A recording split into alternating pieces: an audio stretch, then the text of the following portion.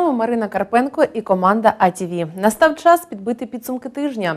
Що обговорювали і з чим боролися, на що сподівалися, покаже об'єктив. Через складну фінансову ситуацію на підприємстві СНВО не може гарантувати своєчасного початку опалювального сезону на котельні північного промвузла та забезпечення споживачів теплом у зимовий період. Лист такого змісту поставив перед міською владою Сум невідкладне питання: хто цієї зими подаватиме тепло третині міста. На позачерговому засіданні депутатської комісії теплоенергетики депутати і представники департаменту інфраструктури. Торік котельня північного промвузла через борги за комерційний газ подала тепло до центральної частини Сум і Курського мікрорайону на початку листопада, лише після втручання в ситуацію обласної влади. Цього року за півтора місяці до початку опалювального сезону з'явився лист від керівництва заводу. Сумське НВО пропонує взяти в оренду майновий комплекс котельної північного промвузлу. Листи були розіслані, і на сьогоднішній день е, умови оренди, е, договори оренди, перемовини з потенційними орендарями обговорюються на сьогоднішній день. Рішення, хто буде орендувати е, цей майновий комплекс, ще не прийнято. Міський голова говорить, офіційного документу про умови оренди він не бачив. Офіційно до Сумської міської ради пропозиції щодо умов не надходило. Є тільки лист, але в листі написано Не може гарантувати своєчасний початок опалювального сезону. Намагається знайти можливість забезпечити мешканців міста Суми тепловою є енергією. про відмову. Немає. Олександр Лисенко озвучує умови, які висунули на заводі майбутнім орендарям котельні. Умови такі: Опа- забезпечити опалення заводу за е, кошти Міської ради. орендатора. Орендатор. орендатора. Це 60 мільйонів. І по-друге, вони ж повинні підготувати повністю підготувати котли до початку опалювального сезону. Ну, Для цього також повинні бути кошти 5 мільйонів. На Сумський ТЕЦ такого листа з пропозицією оренди котельні отримали, проте на сьогодні її відхилили. В чому заключається пропозиція? Е. В чому заключається? Візьми непідготовлені готелі в можливо, з за газ, з ризиками щодо обтяжень даного обладнання. І останнє, що не було викладено в листі на мою адресу, це саме вартість орендної плати. Вона еквівалентна е, кількості теплоенергії, необхідної для забезпечення власних потреб СМНКО. 60 мільйонів. Тобто ми чітко розуміємо, що дана цифра вона буде включена до тарифу, доки не буде з'ясовано. Всі ці аспекти зазначені. Говорити впевнено ні про що не можна. Котельня північного промвузла у мільйонних боргах, і це головна проблема. Большая часть имущества, которое в этом имущественном комплексе находится в залоге у банка. Заборгованность по СНВ перед НАК «Нафтогаз» 173 миллиона 791 тисяча 844 гривень 96 копійок. Тобто це майже 174 мільйони. Олександр Лисенко акцентує, саме на міській владі головна відповідальність за стабільне теплозабезпечення Сум. Питання заборгованості. е, За ким залишається ця заборгованість 174 мільйони. Раз. По-друге, є поточна заборгованість 65 мільйонів, яку треба погасити для того, щоб отримати 90% рівень сплати, для того, щоб отримати номінацію, предоплата за бюджетну сферу. І друге це забезпечення технічної готовності самих котлів. Технічна можливість, треба її опрацьовувати, це використання е, насосного обладнання для того, щоб використовувати технічні можливості постачання теплоносія суми теплоенерго. Одна із пропозицій створити комунальне підприємство, аби закрити всі проблеми із обігрівом міста. Крім того, слід провести взаємозаліки по боргах СНВО перед містом. комунальне підприємство це однозначно. Вже досить на приватників. Ми вже маємо з одними приватниками постійну боротьбу, ще маємо інший протокол негайно міському голові провести перемовини з повноваженими особами СНВО, на яких умовах. При тому, що СНВО має заборгованість перед містом зі сплати податків. Будь ласка, на яких умовах вони сьогодні готові віддати під наше комунальне підприємство? Від юридичних до технічних питань. Чи може Сумська ТЕЦ взяти на себе обігрів усього міста? Керівник групи з розробки схеми теплопостачання Сум озвучує план Б негайно братись за розробку документації і будувати тепломагістраль перемичку між котельною північного промвузла і Сумською ТЕЦ. Микола Сотник озвучує загалом три технічних пропозиції. Всі вони потребують часу проєктувальних та будівельних робіт і додаткового обладнання.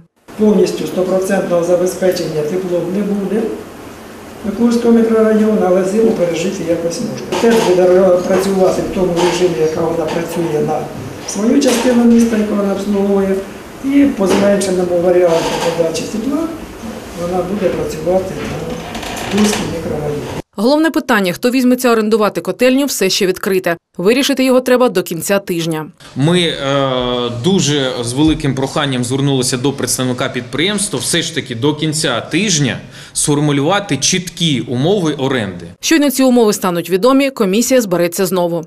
Тетяна Полозова, Костянтин Гусів, АТВ. Створення робочої групи з регулювання питань теплозабезпечення, нові умови конкурсу з перевезення пасажирів, плата за обслуговування лічильників тепла і демонтаж тимчасових споруд. Ці та інші питання обговорили на засіданні виконавчого комітету.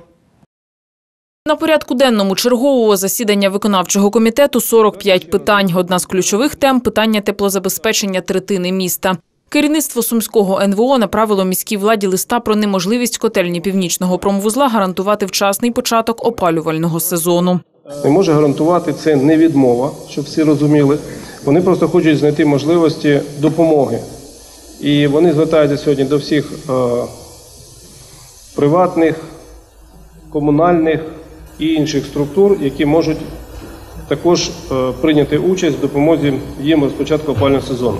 Аби врегулювати ситуацію, у міській раді створюють робочу групу. В її складі представники влади, керівники теплових організацій та науковці. Журба, Величенко, Павленко Віктор Іванович, Романенко Валерій Іванович, Клименко Юрій Миколайович, Липова Світлана Андріївна, Сотник Микола Іванович, Васюнін Дмитро Геннадійович, Жовтобрюх Микола Вікторович, Кальченко Ігор Володимирович. До складу запрошують і голову громадської ради при Сумській ОДА Олексія Пархомчука. За створення робочої групи з регулювання питань надання послуг з теплозабезпечення та подачі гарячої води на території обслуговування котельні північного промвузла члени виконавчого комітету голосують одноголосно. Натомість не затверджують склад громадської ради при виконкомі. Я в цій громадській раді не бачу ні громадських організацій соціального захисту, ні соціального спрямування, ні житлово-комунального господарства, нікого. Тільки корупція, перекорупція, спорт, там ще хтось там і так далі. Ну я не хочу ображати ці громадські організації, можливо, вони активні. Але я вважаю, що в нашому місті є достатньо громадських організацій, які достойні бути у складі громадської ради. Тому склад громадської ради формуватимуть повторно наступне питання порядку денного – організація проведення конкурсу з перевезення пасажирів. Фахівці відділу транспорту пропонують деталізувати його умови. У випадку приєднання до Сумської АТГ е, сіл конкурсний комітет і організатор має можливість проводити конкурси на приміські маршрути в межах Сумської ОТГ, якою буде заплановано там чи введено якісь е, села близлежащі. І також внесення умови, в умови конкурсу, якщо в- разі введення автоматизованої системи оплати проїзду, перевізники зобов'язані е, в- закупити обладнання та в- підключитися до цієї системи. Суперечки виникають з приводу умов подовження договору з переможцями конкурсу. Забезпечення за заявою автомобільного перевізника продовження сроку дії договору, але не більше одного разу і не більше ніж на 5 років у разі виникнення підстав, визначених пунктом 5.15. Десятирічний термін обслуговування пасажирів члени виконкому вважають надто довгим. Один утримався, всі інші проти, тому проект рішення будуть доопрацьовувати. Рішення не прийнято. Значить, е, даю відповідне доручення. Ще раз провести процедуру, опрацювати дану пропозицію, повідомити всіх членів виконавчого комітету, особливо ті, хто е, не голосували за, а це всі. Далі обговорюють встановлення розмірів внесків на обслуговування вузлів комерційного обліку теплової енергії. Вартість пломбування, повірки та ремонту лічильників тепла залежатиме від кількості квартир у будинку і в середньому складатиме 11 гривень за квартал. В цьому році припадає повірка 320. Тобто мешканці чітко зайняли позицію, що вони не будуть за власний кошт проводити цю повірку. Коштів, дозвольте, будь ласка, я продовжую. Коштів в тарифі на послугу централізованого опалення на повірку у виконавця послуг немає. Всі розрахунки, які входять до розміру витрат, було надано до профільного департаменту та було перевірено. Крім того, всі питання, які виникали на попередньому засіданні виконкому, також було опрацьовано і знято. За встановлення такої ціни голосують 12 членів виконавчого комітету.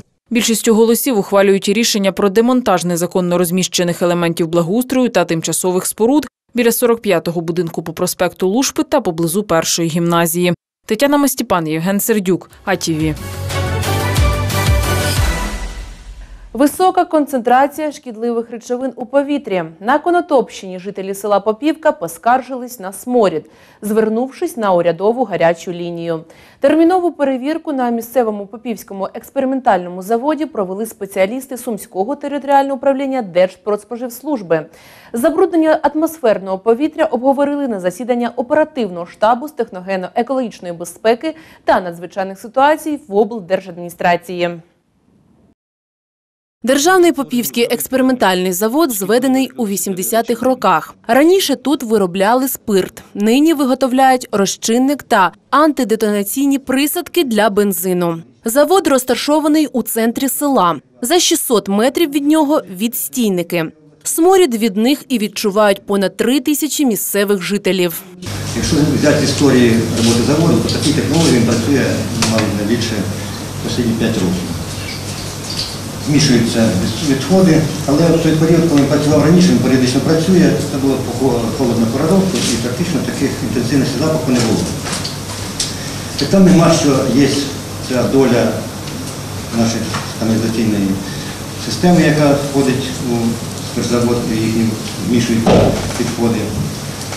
Але як тут говорили, питання контролю і виконання всіх санітарних умов це і робота спиртового заводу і сільської ради. Фахівці Держпродспоживслужби озвучують результати перевірки. Стан відстійників Попівського експериментального заводу спричинив екологічне забруднення повітря. Аналізи показали перевищення допустимої концентрації аміаку удвічі, а сірководню у 9 разів. Ця проблема не вона виникла не сьогодні. Цій проблемі вже десятиріччя. І якщо зараз не зробити кардинальні кроки і не вирішити це питання, воно й далі буде тягнутися, що тягне за собою е, загрозу не тільки е, здоров'ю села Попівка, мешканців, а також і мешканців е, міста Конотоп. Ну тільки собі так уявіть перевищення сірководню в 9 разів. Чекати, що вітер буде дути в якусь іншу сторону, це не вирішення проблеми. У ході здійснення державного нагляду фахівці екологічної інспекції теж виявили низку порушень. Зокрема, витікання барди відходів від виробництва етилового спирту. Обласна екоінспекція подала позов до адміністративного суду з вимогою тимчасово призупинити роботу Попівського експериментального заводу. Перше судове засідання заплановане на 13 серпня. Посадові особи притягнуті до адміністративної відповідальності. Е, Зараз вже направлено е, позов до адміністративного суду щодо тимчасового припинення, тимчасового припинення діяльності е, Попівського експериментального заводу. От. І ситуація знаходиться на постійному контролі в Державної екологічної інспекції. Будемо чекати рішення суду. Обстеження барди накопичувачів показало, що утилізуються як виробничі стоки, так і каналізаційні стоки від населення. Мені потрібно, щоб нам, щоб в селі підприємство працювало, але ж не, не було цих неприємних запахів і не створювати проблеми, так як жителів села. Ми, в свою чергу, звісно, вже замовили проєкт, і його зараз іде моніторинг, вивчаємо ситуацію повністю, варіанти е, для того, щоб розділити, щоб не щоб не складалася ситуація, щоб люди людей не утримувати у заложниках цієї ситуації. Але закривати резервуари накопичувачі не можна, стверджують на заводі. Це нам досталося, як говориться, історично е, ця нагрузка, і ми цим і не повинні займатися, і не хочемо займатися. Але ж у нас немає вибору. То ми цим займаємось. Але ж е, у нас є припис екологічної служби, яка нам приписала е, зупинити водопостачання і вод... Ні, не водопостачання водовідведення, а використання е, бордових ям. Да. Ну, тобто це зупинка заводу. Державне підприємство, є державні норми. І державне підприємство повинно виконувати державні норми. Якщо це було е, ще за радянських часів, а зараз така ситуація трапилась, вам, шановні, нікуди не дітися, треба це виконувати. Єдине дати людям, які є на даний час там заручниками слова, що це виконується, більше проводити, виходити до людей через голову селищної ради, збирати людей, давати роз'яснювальну роботу.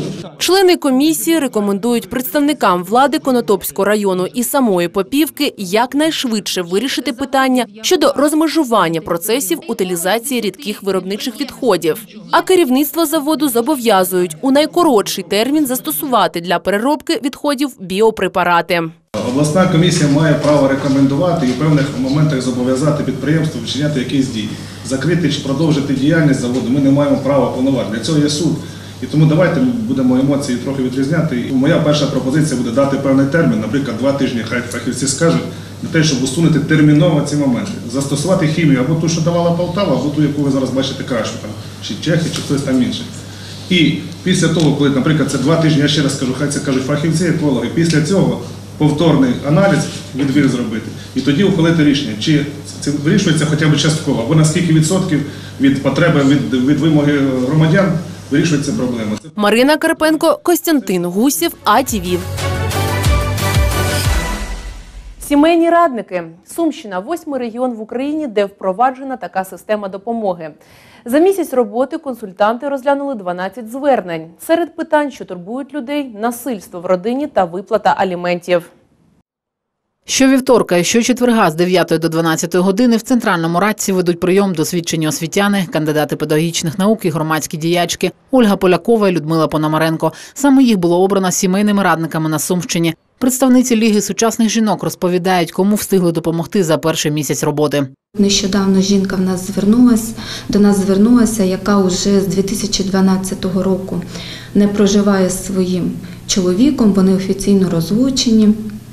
Аліментів він на дитину її не платить, але при цьому проживає на території її будинку, і вона не може його виселити. Тому ми вже тут консультували під з цього питання, підключали безоплатну правову допомогу. Вони нам допомагали, як оформити, яким чином. Чимало звернень стосуються невиконання батьківських обов'язків.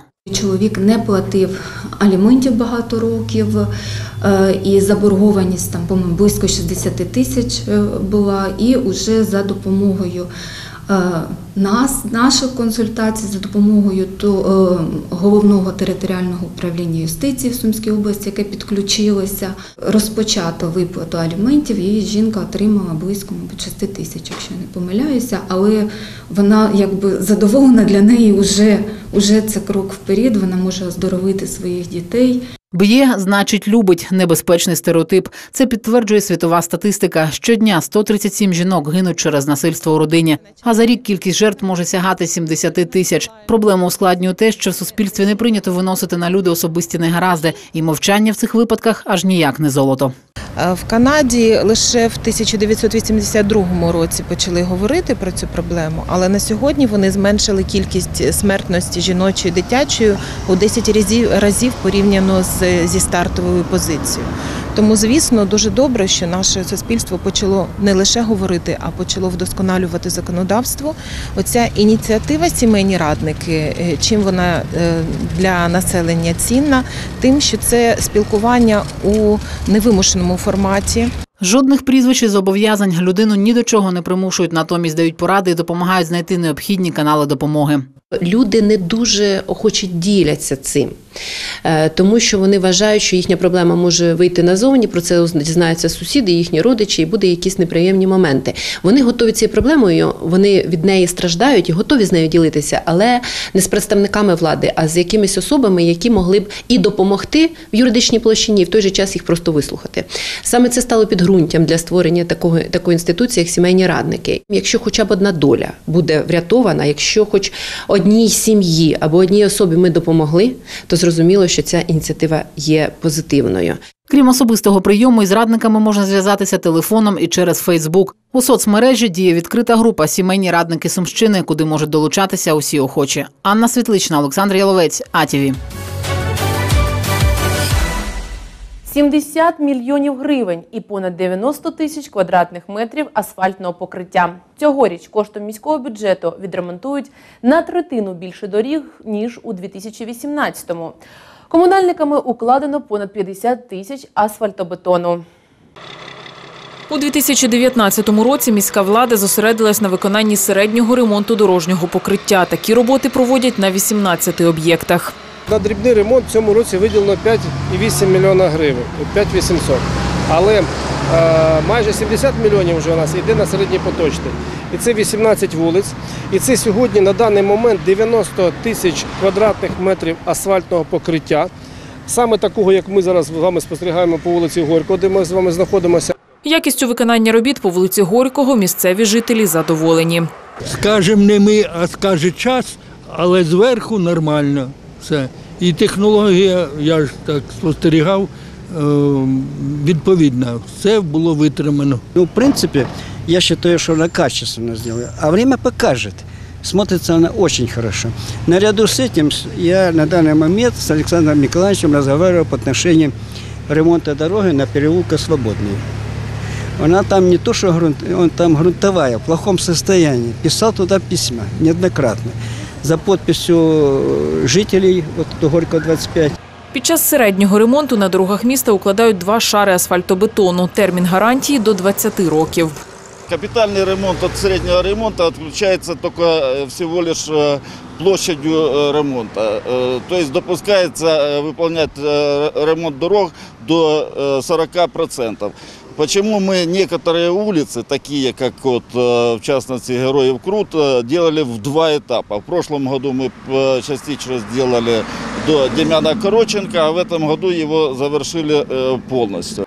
У 2019-му на ремонт майже двох кілометрів вулиці Героїв Крут витратили 9 мільйонів гривень. Завершуються роботи і по вулиці Білопільський шлях. Там укладено 1100 тонн асфальтобетону. Загалом середній ремонт цього року проведуть на 77 тисячах квадратних метрів доріг.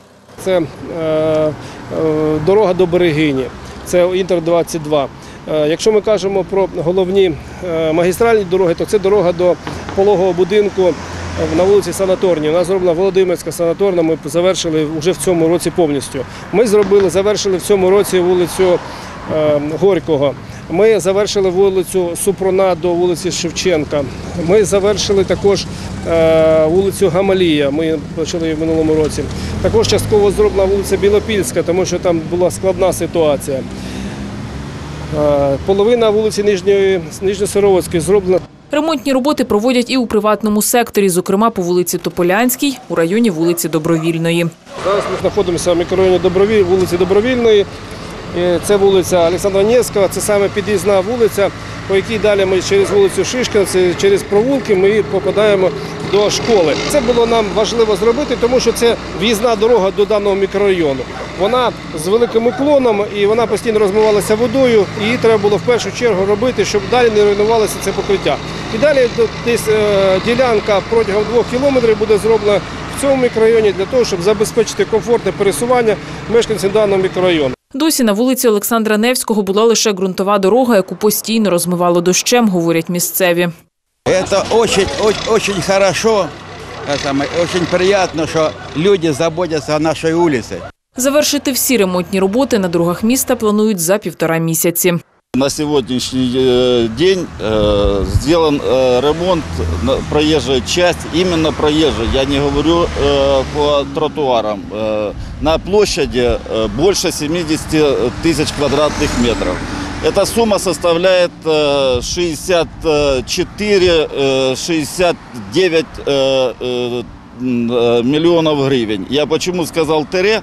Э, Потому что еще э, многие объё- э, объемы, которые последние, не сданы, э, поэтому где-то примерно она составляет около 70 э, миллионов э, гривен.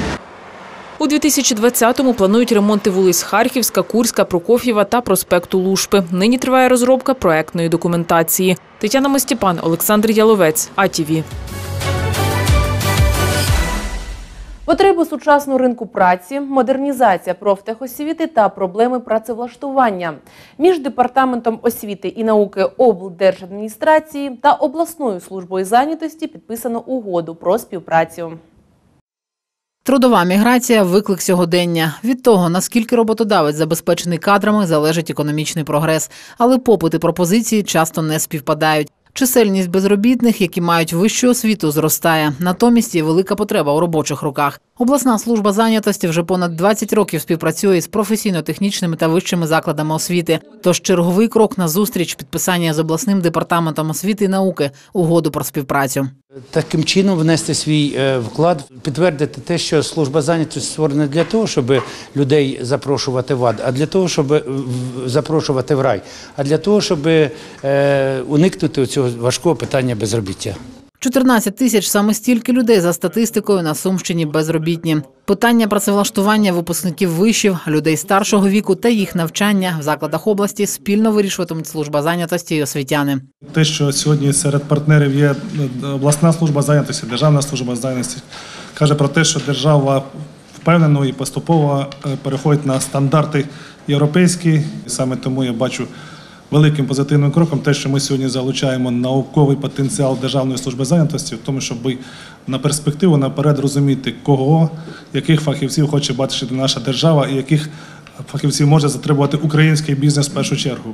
Найбільша потреба сьогодні у водіях, підсобних робітниках, продавцях, слюсарях, ремонтниках і трактористах, машиністах. Вмотивувати молодь саме до такої праці одне із завдань. За словами Вікторії Гробової, на Сумщині створюється потужна база професійно-технічної освіти і вже діють п'ять навчально-практичних центрів. За 18 і першу половину 19 року було вкладено в модернізацію закладів професійно-технічної освіти 64,2 мільйона гривень. Крім того, що у- до нас йде навчатися молодь, і ми даємо їм знання і уміння, то якраз би ми могли готувати доросле населення, перенавчати якраз під той ринок праці, який є у нас в області. Ситуація із безробіттям в інших регіонах України приблизно така ж, як і на Сумщині. Що в нас сьогодні мінімалочка, шановний Іван Семенович, пустілась пляс. Є, служба зайнятості сьогодні ніколи мала так, не, не мала такої е, кількості вакантних місць 3,5 тисячі. Із них 90% – це мінімальна заробітна плата. Хімпрому. Сьогодні середня в 10, і люди вже давно, 4 роки, я наскільки ми от діалог ведемо, забули про ту мінімалку. Так це е, чи не єдиний приклад, і який на, до, до нас слідує. Ну ми колись відірвемося від цього. Я про це мрію, тому що іншого способу зупинити ту, ту галопіруючу міграцію, мені здається, ну дуже важко придумати. Іван Боршуш певен, підприємцям треба вміти ділитися прибутком і змінювати світогляд, аби зрештою мати кваліфікованих працівників. Угода між департаментом освіти і науки та службою зайнятості передбачає співпрацю у сфері підготовки, перепідготовки та підвищення кваліфікації безробітних за робітничими професіями, профорієнтаційна робота з молоддю та інформаційна з роботодавцями. Анна Світлична, Руслан Павлов, АТВ.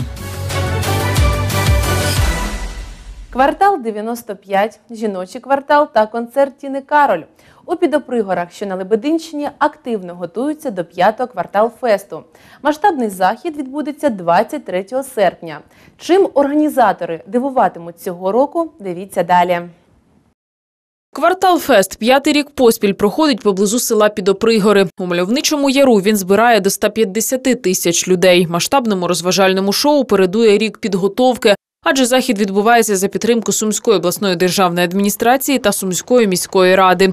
Координувати зусилля прибувають організатори з Києва. Мусимо розуміти, що ми перебуваємо в лоні природи, але будуть туалети, буде проточна вода технічна, буде сучасна українська кухня, традиційна українська кухня, тобто можна похарчуватися, можна відпочити, буде дитяча зона. Традиційну дитячу зону цьогоріч розширять до масштабного луна-парку, розповідають організатори. Виступи на сцені розпочнуться о 15-й.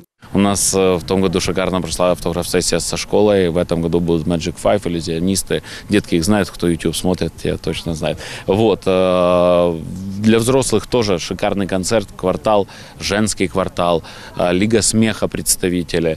э, Ну и Тина Кароль, конечно.